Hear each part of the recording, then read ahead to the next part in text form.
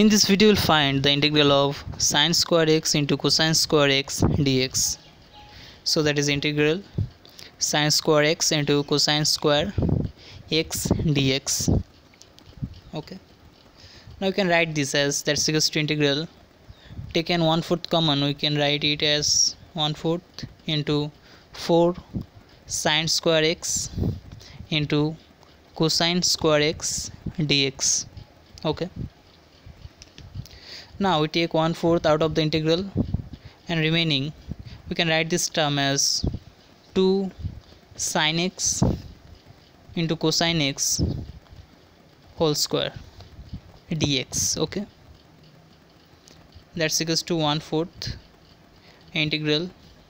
And we can write this to sine x cos x as sine 2x into whole square into dx okay now that's equals to 1 4 integral sine square twice x dx. Okay. Now you can write this as 1 fourth into half integral 2 sine square twice x dx. Now we know that cosine twice theta that's equals to 1 minus 2 sine square theta and from this 2 sine square theta that's equals to 1 minus cosine 2 theta.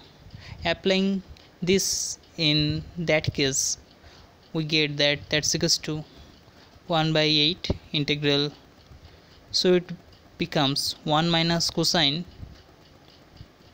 2 into 2x that is 4x dx okay? Now that's equals to 1 by 8 now to find the integral of this. So integral of 1 is x integral of cos 4x is sine 4x by 4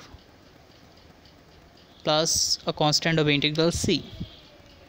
That's equals to x by 8 minus sine 4x by 32 plus c thus we get the integral of sine square x into cosine square x dx